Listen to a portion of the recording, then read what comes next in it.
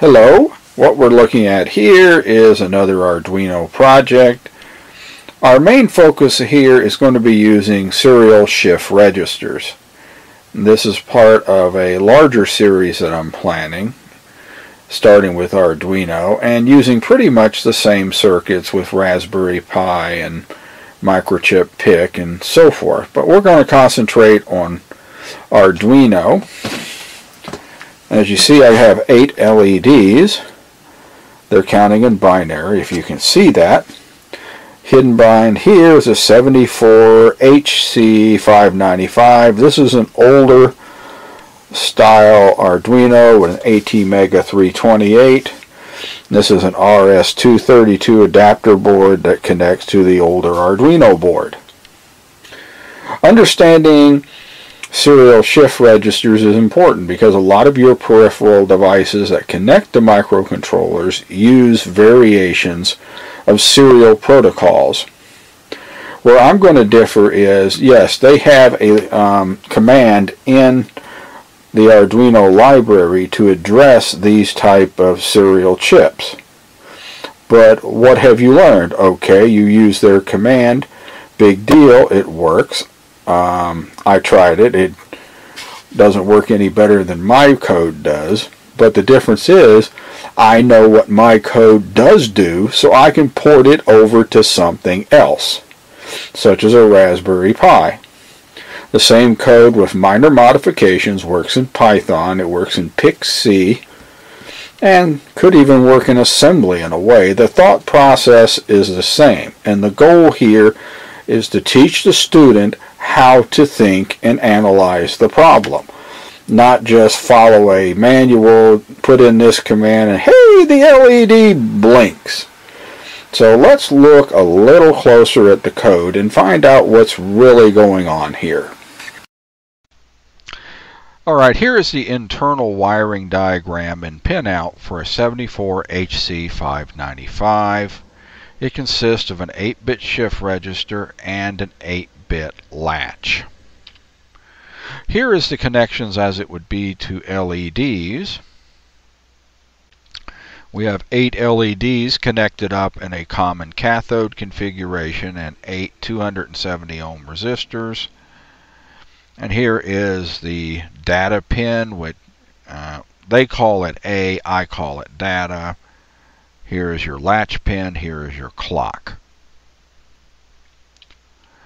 Back here, we've defined the data pin as being on Arduino's digital pin 10, the latch pin as being on digital pin 11, and the clock, the serial clock, being digital pin 12. I'll skip the setup part of the software. Note these two small subroutines. One is called pulse clock. It will just simply go from low to high to low when you call it. And pulse CS is your is for your latch.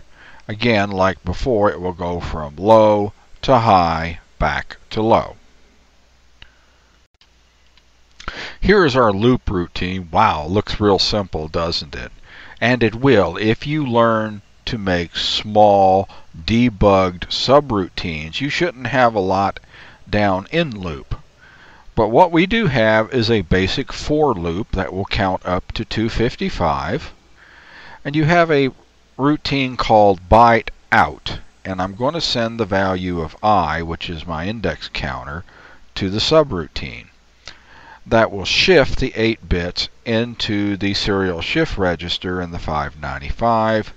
Then I'm going to activate the pulse CS to latch the data on the output delay 200 milliseconds and loop again for and it'll do this for 255 times which is the count you saw in the video on the LEDs.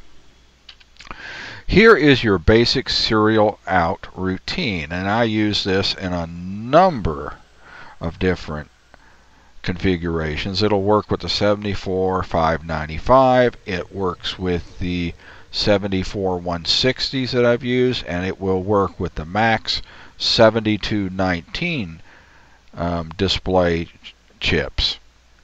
Nonetheless, I'm going to send a 8-bit value which is going to be byte j. I use a byte variable because it only uses one byte as opposed to two bytes with an integer. Same thing with my second variable k. I use another for loop that's going to go through 8 iterations 0 to 7. I'm going to make, what I'm going to do is I'm going to take j that was sent to here, that's the count sent from loop, and I'm going to bitwise and that value and store it in K. What this does, it's going to produce either a 0 or a 1 depending on the value of the least significant bit. Then I'm just going to simply write it to the uh, data pin the value for K. It's going to be 1 or 0. Then I'm going to pulse the serial shift clock and into the 74595 it goes.